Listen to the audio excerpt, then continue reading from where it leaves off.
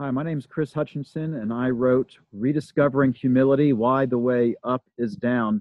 And really, uh, it's been a book I've been writing for about 30 years, uh, ever since I came to Christ as a teenager, because uh, I was saved out of the particular sin of self righteousness. I had grown up going to church, but I thought my being a good person was enough to get me to heaven. And I thought I was a pretty good person. So when I came to faith in Christ, and I learned it was entirely by grace. I, I soon realized that humility had to be at the center uh, of this new life that I had.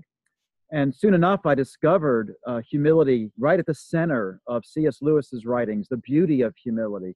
Uh, and then later, when I went off to college, I began reading uh, the theology of a, of a man named Jonathan Edwards. And I remember sitting up in a tree my freshman year, a tree just like this one, uh, reading one of his essays and just getting blown away uh, about the logic uh, of humility found in the gospel.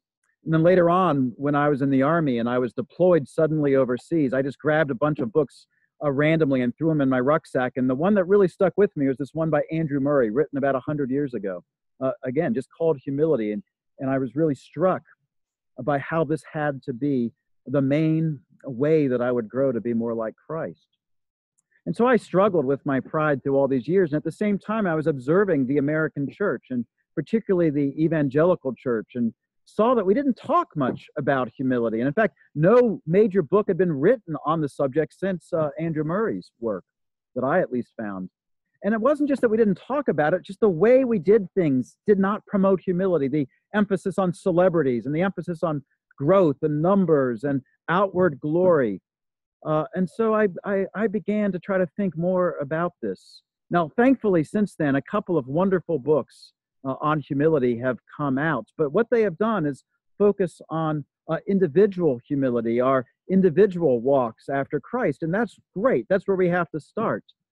But I wanted us to think more about what does it mean to be humble together.